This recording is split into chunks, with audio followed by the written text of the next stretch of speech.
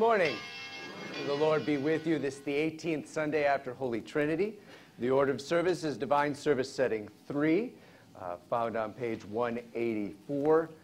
And our opening hymn is 797. We, uh, we begin our service with that hymn.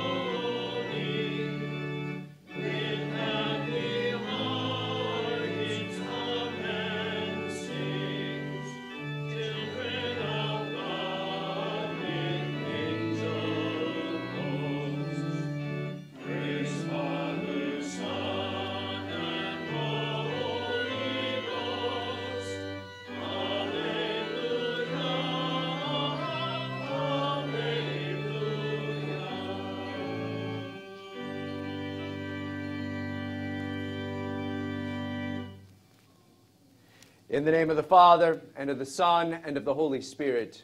Amen.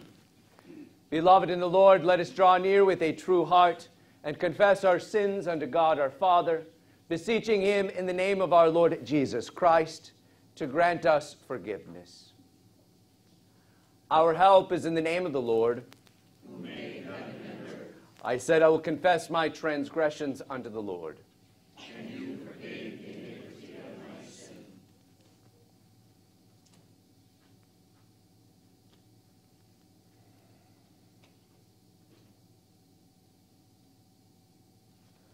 O Almighty God, merciful Father, I, a poor, miserable sinner, confess unto you all my sins and iniquities, with which I have ever offended you, and justly deserve your temporal and eternal punishment. But I am heartily sorry for them, and sincerely repent of them. And I pray you of your boundless mercy, and for the sake of the holy, innocent, bitter sufferings and death of your beloved Son, Jesus Christ, to be gracious and merciful to me, a poor, sinful being. Upon this, your confession, I, by virtue of my office as a called and ordained servant of the word, announce the grace of God unto all of you. And in the stead and by the command of my Lord Jesus Christ, I forgive you all your sins in the name of the Father, and of the Son, and of the Holy Spirit.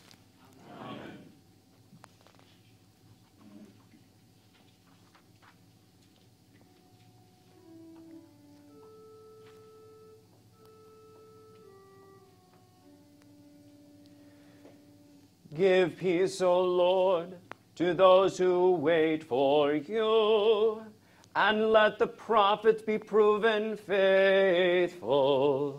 Hear the prayer of your servants, according to the blessing of Aaron upon your people. I was glad when they said to me, let us go to the house of the Lord. Pray for the peace of Jerusalem. May they be secure who love you. For my brothers and companions' sake, I will say, Peace be within you. For the sake of the house of the Lord our God, I will seek your good.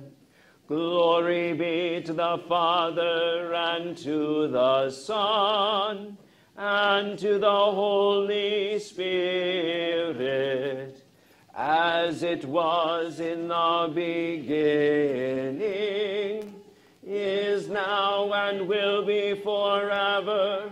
Amen. Give peace, O Lord, to those who wait for you, and let your prophets be proven faithful. Hear the prayer of your servants, according to the blessing of Aaron upon your people.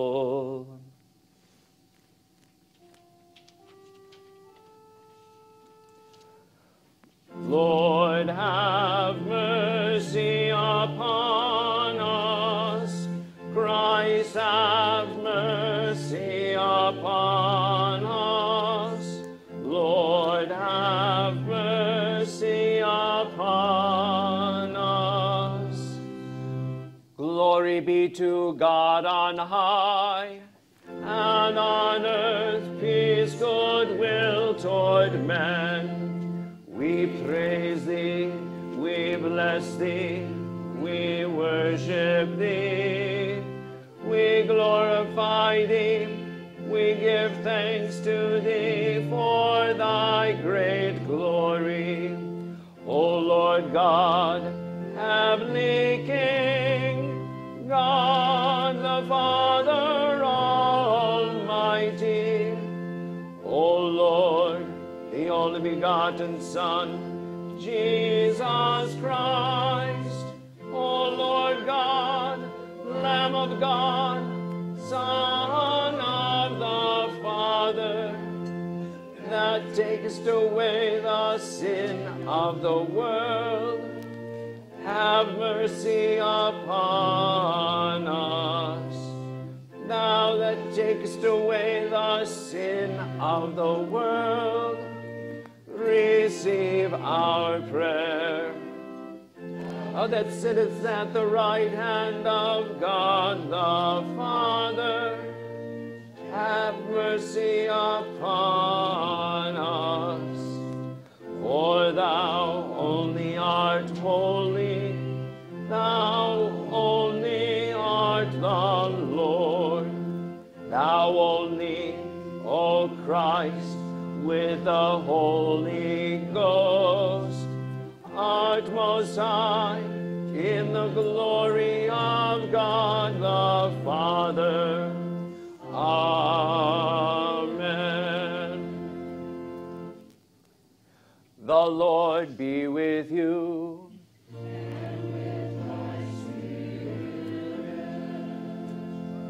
Let us pray. O God, because without you we are not able to please you, mercifully grant that your Holy Spirit may in all things direct and rule our hearts. Through Jesus Christ, your Son, our Lord, who lives and reigns with you in the Holy Spirit, one God now and forever.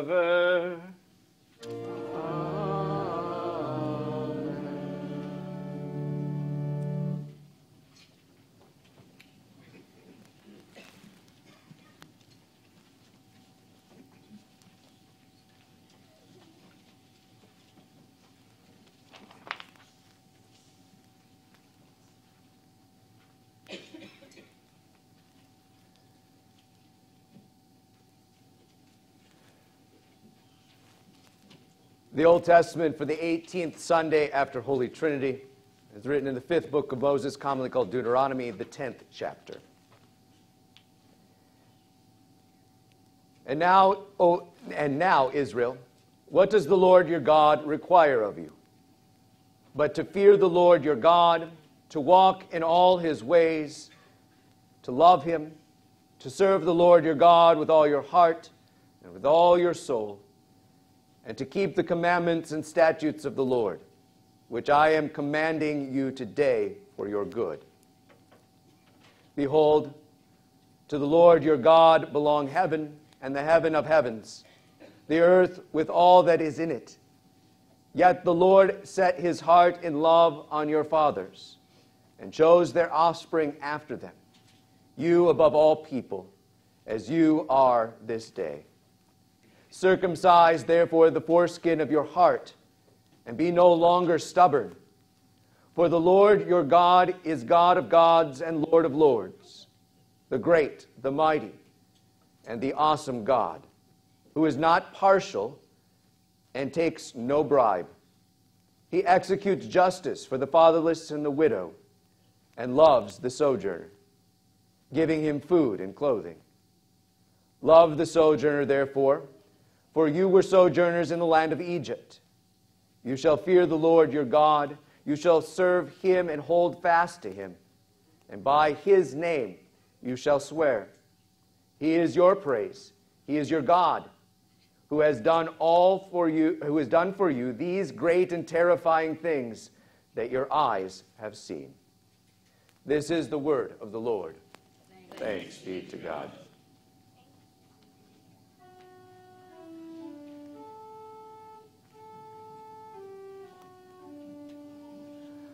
I was glad when they said to me, Let us go to the house of the Lord.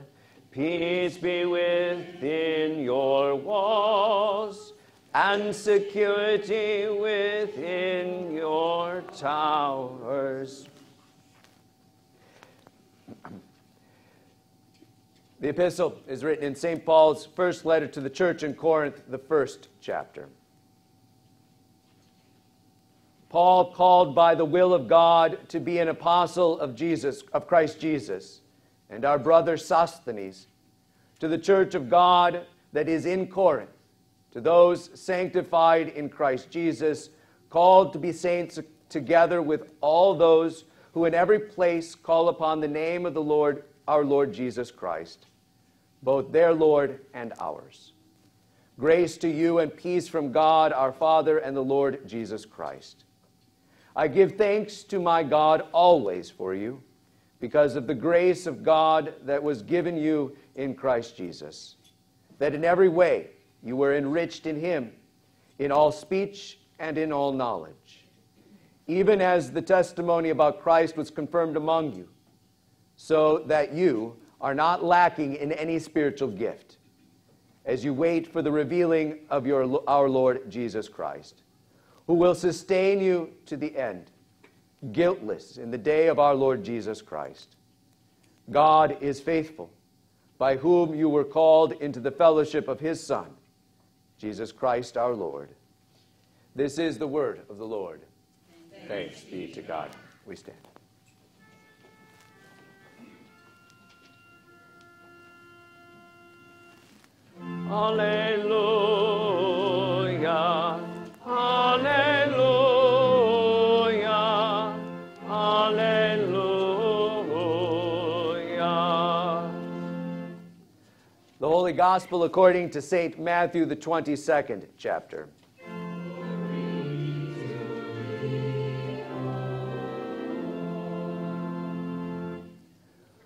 When the Pharisees heard that Jesus had silenced the Sadducees, they gathered together. And one of them, a lawyer, asked him a question to test him Teacher, which is the great command, commandment in the law? And he said to him, You shall love the Lord your God with all your heart, and with all your soul, and with all your mind. This is the great and first commandment. And a second is like it You shall love your neighbor as yourself. On these two commandments depend all the law and the prophets. Now, while the Pharisees were gathered together, Jesus asked them a question, saying, What do you think about the Christ? Whose son is he? They said to him, The son of David. He said to them, How is it then that David, in the Spirit, calls him Lord, saying, The Lord said to my Lord, Sit at my right hand until I put your enemies under your feet? If then David calls him Lord, how is he his son? And no one was able to answer him a word. Nor from that day did anyone dare to ask him any more questions. This is the gospel of the Lord.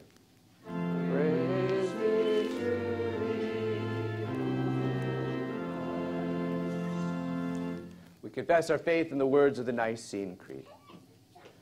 I believe in one God the Father Almighty, maker of heaven and earth, and of all things visible and invisible, and in one Lord Jesus Christ, the only begotten Son of God, begotten of his Father before all worlds, God of God, light of light, very God of very God, begotten, not made, being of one substance with the Father, by whom all things were made, who for us men, and for our salvation, came down from heaven, and was incarnate by the Holy Spirit of the Virgin Mary, and was made man, and was crucified also for us under Pontius Pilate.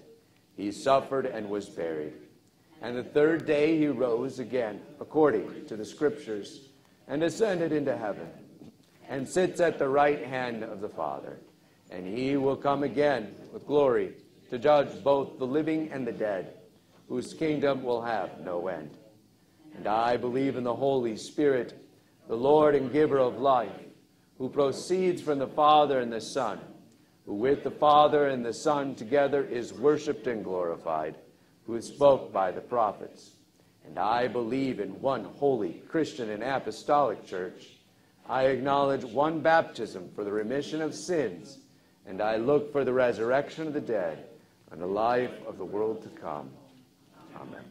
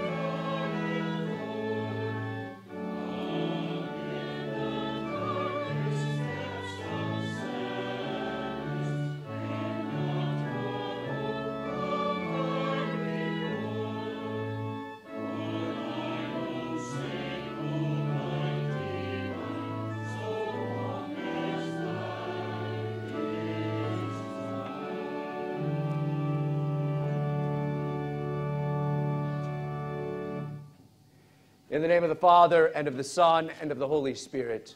Amen. Let us pray. O God, because without you we are not able to please you, mercifully grant that your Holy Spirit may in all things direct and rule our hearts. Through Jesus Christ, your Son, our Lord, who lives and reigns with you in the Holy Spirit, one God, now and forever. Amen. Apart from Jesus, you do not please God. No one does. That is why we prayed what we prayed just now in the collect, earlier in the service, and just now.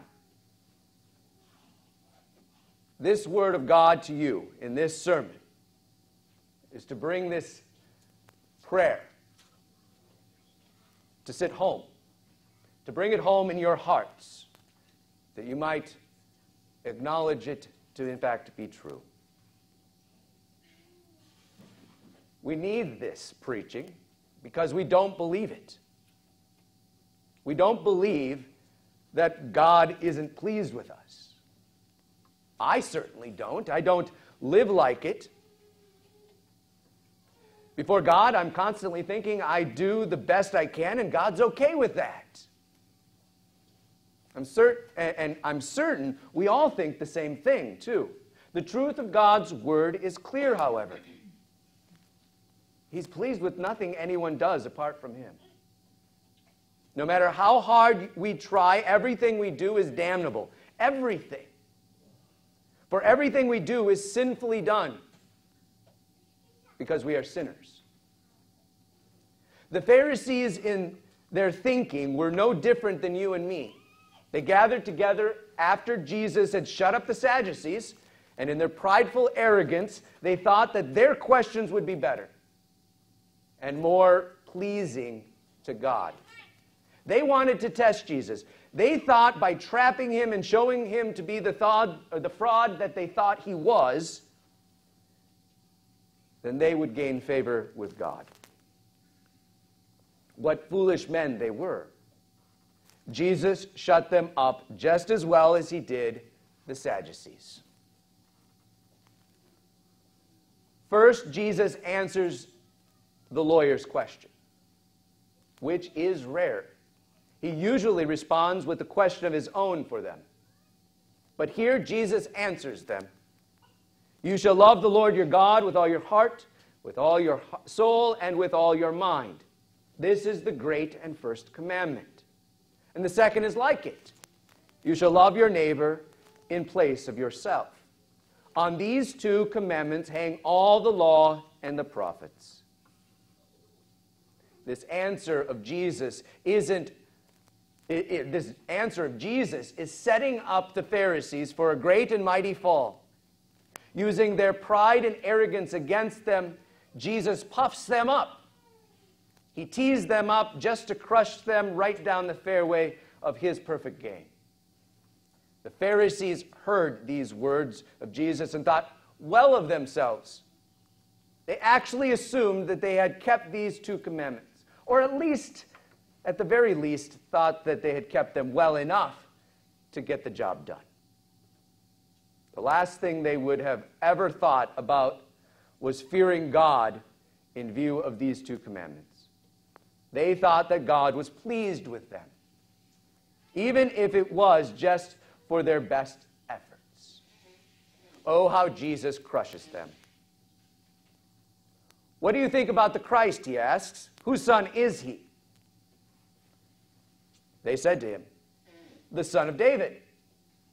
He said to them, How is it then that David in the Spirit calls him Lord, saying, The Lord said to my Lord, Sit at my right hand until I put your enemies under your feet? If then David calls him Lord, how is he his son? And no one was able to answer him a word. Nor from that day did anyone dare to ask him any more questions. Everything in the Old Testament, the law and the prophets, it's about one thing, or rather, one man the Christ. It is about the promised seed of the woman, the Messiah of Genesis 3. It is about the Christ coming to rescue God's chosen people from their bondage and to once and for all kick the enemy's butt and deliver the promised land. Yet, what Jesus said about the commandments of God, that on these two commandments depend all the law and the prophets, strikes the Pharisees square and true. And why is that? Because the Christ was to come to do what they thought he was to do, but they didn't think that what he had what he was coming to do had anything to do with God's command. At least not as they thought. Without the commandments, there is no need for the Christ, the anointed one. The Pharisees failed to see that the enemy wasn't the Romans or other Gentiles, it was themselves, as sinners who sin. They failed to see that they were in bondage to sin and its wage death. They needed to be shown, shown that they were dead and needed a Savior a Savior who would resurrect them. If you remember, the Sadducees denied the resurrection. The Pharisees, who thought themselves better, also denied the resurrection, but in their own way, because they denied the Christ. They didn't want to be the sinners in need of salvation. No, they wanted to be the saviors. They wanted to be saviors of themselves only. They didn't want to be sinners. They didn't want to die and be given life by Christ, who would, out of love, forgive their sins freely and then resurrect them to new life. They liked their life the way it was. They could take care, uh, credit for it. They liked thinking of themselves as pleasing to God and worthy of God's salvation. What one thinks about the Christ tells a lot about what one thinks about themselves and others. If in our minds Jesus loves us and accepts us for who we are and how hard we try, then we do not think of ourselves the same way the Bible says God thinks of us and our works. And for this we must repent. It's time for a mind and heart change, once again for the umpteenth time we must die, even daily. We must no longer be as the Pharisees who try hard. We must do nothing but be dead. To confess. To confess and say back what God's word says. So we must also then listen and not get in the way. Listen to the Lord who says to my Lord, Sit at my right hand until I put your enemies under your feet. The law and the prophets depend on the commandments of God because if there is nothing wrong, nothing sinful, if we are not sinners, then there is no need for Christ. There's no need for Jesus. Thanks be to God, the enemy has indeed been put under Jesus' feet. The enemy of death and its champion, the devil, is defeated. He lay crushed under the heel of Christ, the Christ who died on the cross for us, for you, to set us free. Once and for all. It is finished. Your lives of sin against God and His commandments are forgiven by Jesus. You, the sinner, are declared innocent before God. It is His declaration, not your work. The commandments no longer now, because of what Christ has done, they no longer accuse you and usher you to hell. No, Christ, the Lord of heaven and earth, your Lord, makes you worthy. He makes you acceptable to God. You who are dead in sin are resurrected to new life, a life you did not earn. There is no trying hard in God's kingdom. Nothing you do is pleasing to God, yet everything Jesus does and has done for you is pleasing to God. And He has made it yours. Jesus has done it all for you and for your salvation. As we started this sermon with today's collect, we will end with it. O God, because without you we are not able to please you, mercifully grant that your Holy Spirit may in all things direct and rule our hearts through Jesus Christ, your Son, our Lord, who lives and reigns with you in the Holy Spirit, one God, now and forever. The only way to please to be pleasing to God is through Jesus, which the Holy Spirit makes known to us, to you.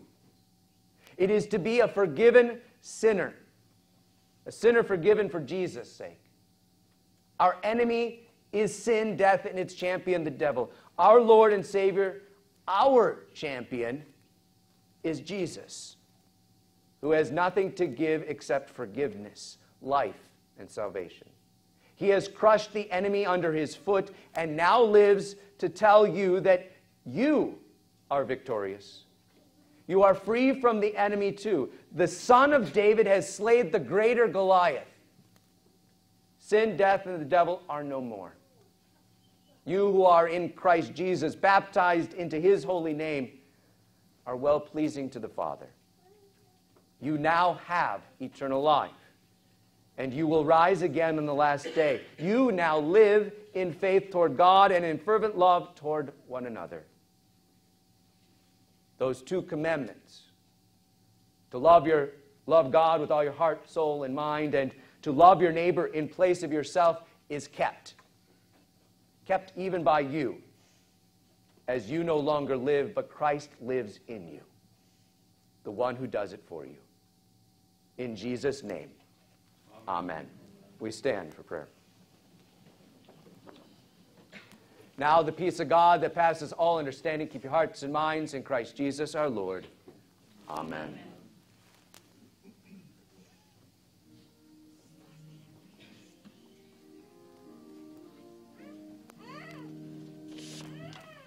Create in me a clean heart, O God, and renew a right spirit within me. Cast me not away from thy presence, and take not thy Holy Spirit from me. Restore unto me the joy of thy salvation,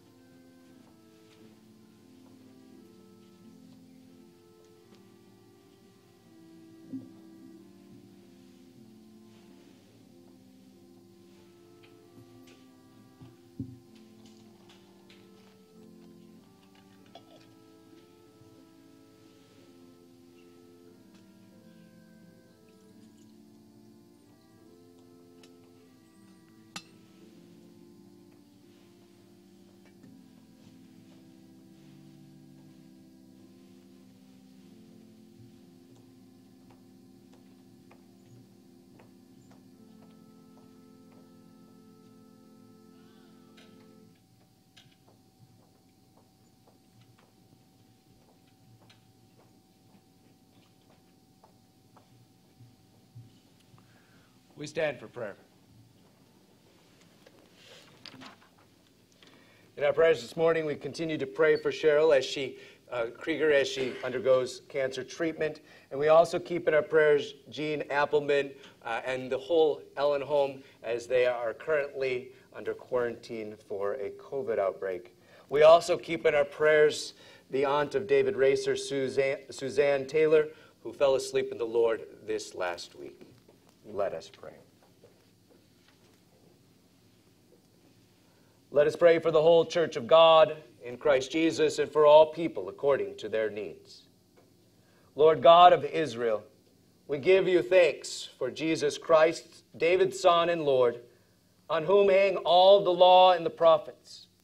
Reconciled to you by his righteousness, lead us as disciples to make a godly beginning in the love of you and our neighbor.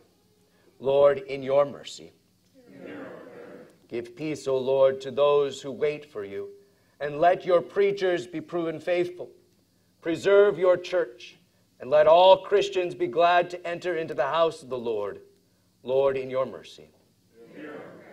Bless the homes of your people, O Lord, that husbands and wife, husband and wife may honor their vows of love and fidelity to each other. Unite parents and children in love and affection, that their lives together may be examples to the world of your goodness and love. Lord, in your mercy. Almighty God, graciously uphold our president and those in high positions of authority. Guard them from every evil. Keep them from using their power to self, for selfish gain, that they would serve for the common welfare of all. Lord, in your mercy.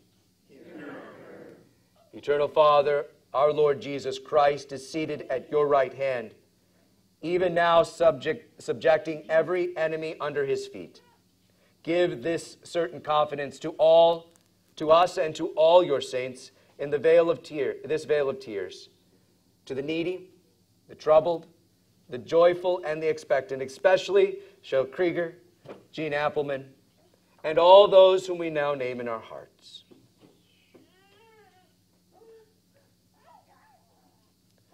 Lord, in your mercy, hear our prayer. Lord, you are our praise you are our God. You do great and marvelous things, both seen and unseen, especially your saints throughout the mystery. Uh, establish your saints through the mystery of Christ's blessed sacrament, which delivers the forgiveness of our sins. Strengthen us by your word and body and blood in right fear and love of you, and in selfless love and service toward our neighbor. Lord, in your mercy. Gracious Father, your Son is the resurrection and the life, in whom all the dead will rise, and through whom your elect will live eternally in your presence. Give comfort to all who mourn, especially the family of Suzanne Taylor, David Racer's aunt. Give them comfort that they might not grieve as those who have no hope, but as those whose hope is in the crucified and risen one. Lord, in your mercy. All these we all this we pray in the name of Jesus Christ our Lord, through him, with him and in him. O God, almighty Father, in the in the unity of the Holy Spirit, all glory and honor is yours forever and ever. Amen.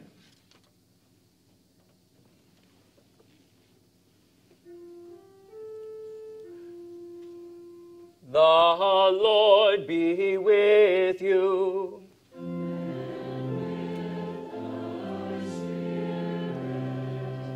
Lift up your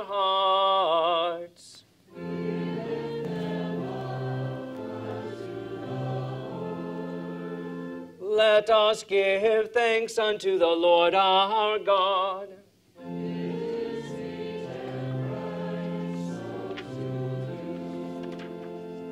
It is truly good, right, and salutary that we should at all times and in all places give thanks to you.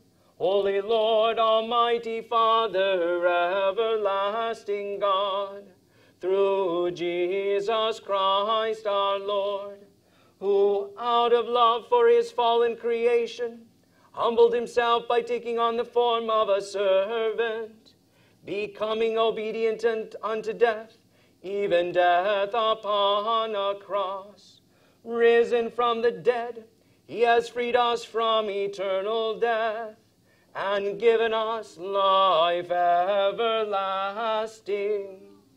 Therefore, with angels and archangels, and with all the company of heaven, we laud and magnify your glorious name, evermore praising you and saying,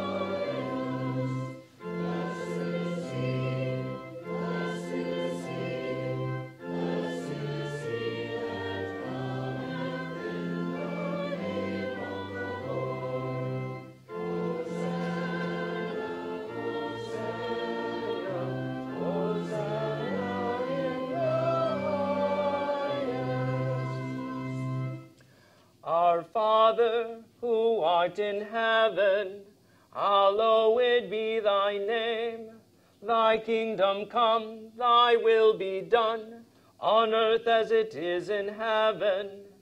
Give us this day our daily bread, and forgive us our trespasses, as we forgive those who trespass against us. And lead us not into temptation but deliver us from evil. For thine is the kingdom and the power and the glory forever and ever. Amen. Our Lord Jesus Christ on the night when he was betrayed, took bread, and when he had given thanks, he broke it and gave it to the disciples and said, Take, eat, this is my body, which is given for you. This do in remembrance of me.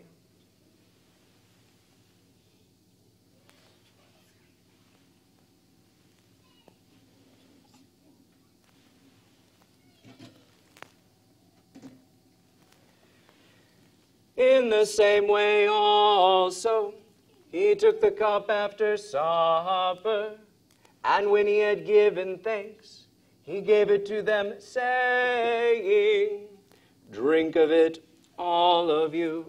This cup is the New Testament in my blood, which is shed for you for the forgiveness of sins. This do as often as you drink it in remembrance of me.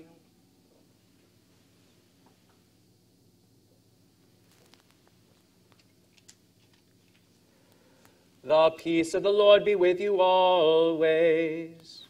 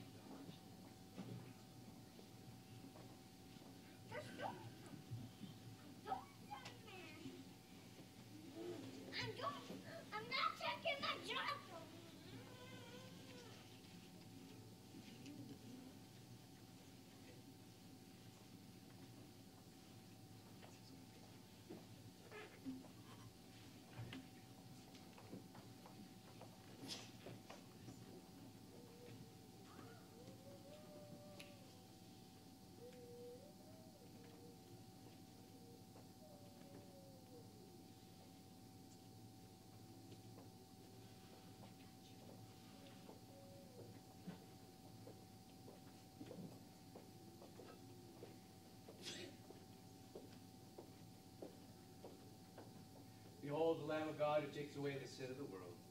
Amen.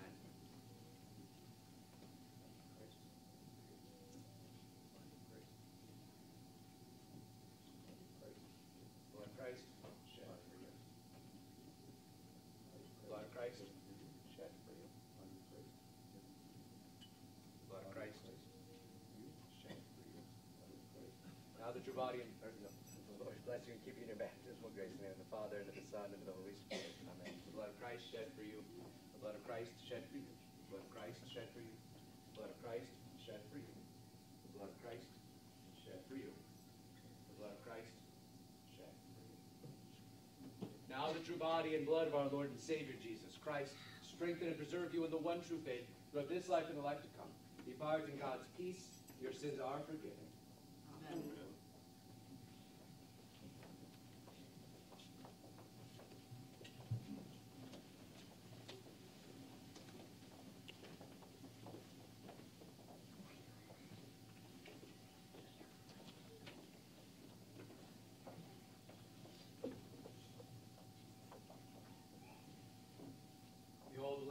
Who takes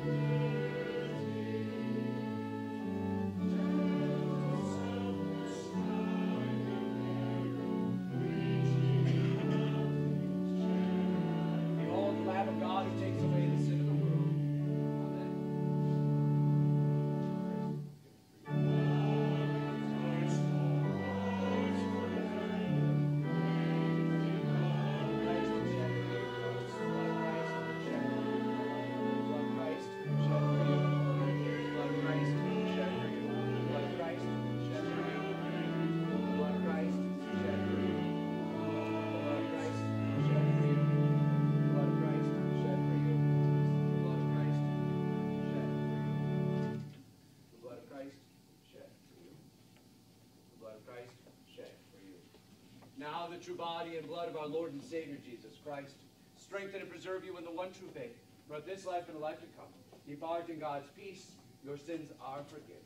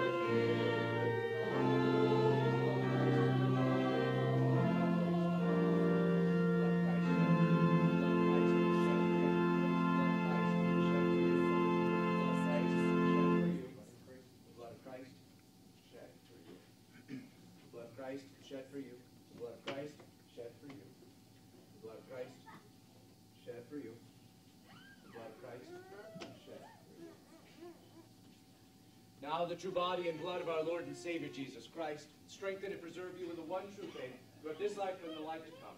You in God's peace, your sins are forgiven.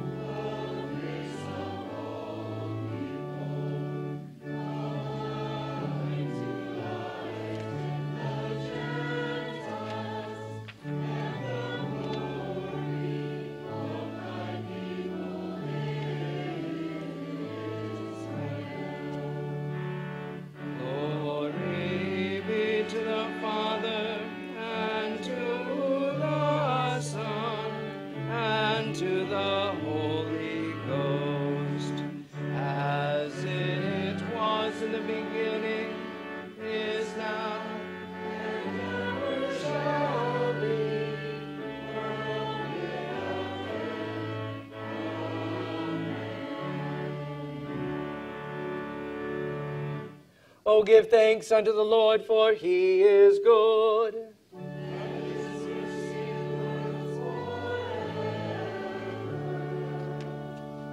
Let us pray.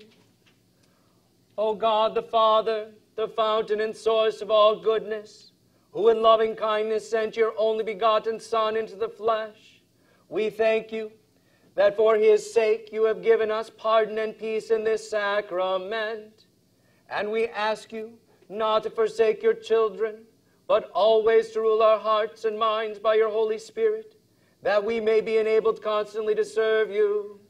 Through Jesus Christ, your Son, our Lord, who lives and reigns with you in the Holy Spirit, one God now and forever. Amen. The Lord be with you.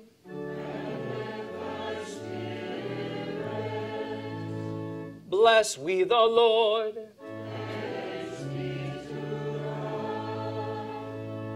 The Lord bless you and keep you. The Lord make his face to shine upon you and to be gracious unto you. The Lord lift up his countenance upon you and give you peace.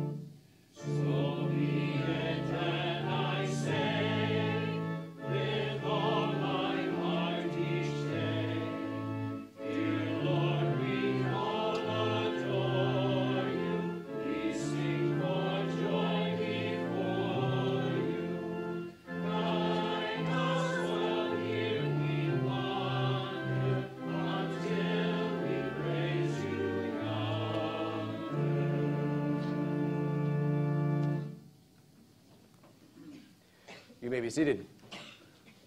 Lord's blessings to you again. This is the 18th Sunday after Trinity. A few announcements to bring to your attention. If you have not already done so, please RSVP for the hog roast and Reformation hymn sing. Uh, the program is the first draft is been uh, has been printed uh, and is now going through the review process because I wrote it. Um, um, I'm glad I got it done early. I've never. I usually don't do that. So. Uh, but uh, this, I'm terrified of this. i will I'll, I'll be honest. It gives me a little anxiety. Uh, uh but uh, it, we will get it ready for, uh, for the day. We do have our readers. The narrator is Pastor Brenna Christensen, headmaster and associate pastor of Peace Lutheran Church and Academy in Sussex. Um, he's a baby pastor, so be kind to him. Um, and, but he will do a well, good job. And if you have any questions about classical Lutheran education, he's the guy to talk to. Uh, so he uh, is uh, taught in a classical Lutheran school setting before, as well as now running a school in, in, his first year. Also, uh, for Luther, unfortunately, Pastor Kilps is out of town that weekend, but we do have the uh, very distinguished uh, Pastor John Berg, who is pastor of Trinity Lutheran Church and School in Sheboygan, who will be filling the role of Luther in our program this year. Uh, he has done this before, and he was here last year, so uh, we look forward to having him uh, be Luther this year. So if you haven't RSVP'd, please do so. Um, the, the, sooner we uh, get all those names together, we, the better we can plan for that day. Uh, also, Mark, on the back of your bulletin, uh, there was a little error in, in, in scheduling. LWML is on Thursday night, not Tuesday night at 6.30, right? Still at 6.30, right? Yeah, still at 6.30. Thursday night, 6.30, LWML ML meeting. Um, also this week, I forgot, there is no uh, uh, Old Testament catechesis on Monday night. I forgot to tell the class because I will be in Middleton, Wisconsin for Pastors Conference. Um, and so I won't be here uh, unless you want to come to Madison uh, with me. Um, I will not be here. So, no Old Testament catechesis tomorrow night. Uh, that I will not be here. Uh, so, I think everybody who's in the class is here today. So, we, so mark that. Yeah, it's, it's on the schedule as not being there, right? I think it is. Um, so, I handed out the schedule at the beginning here. I just forgot to look at it. So, um, so I will be at Pastors Conference uh, starting uh, noon tomorrow uh, till about noonish on Wednesday. And so if you have any pastoral emergencies, do not hesitate to use my cell phone. Um, I will have it with me. It's kind of glued to me. So please call. Do not hesitate. Just because I'm in Madison, don't, uh, don't think that you, I, I, won't come, because I will, because that's what God has called me to do, and I, I welcome it. Um, otherwise, you could also call one of the deacons. They also have my number. And Jamie has it, though she's not the secretary anymore. So, but, but uh, so uh, please do that. And uh, I look forward to getting back to you, be, being with you for the divine service on Wednesday night. Uh, this week we will be celebrating the feast of St. Luke, the apostle. Or, yes, the apostle. The evangelist. There you go. Get it right. Are there any other announcements at this time? None? Seeing none, may God keep you safe in the palm of his hands till we meet again. God bless.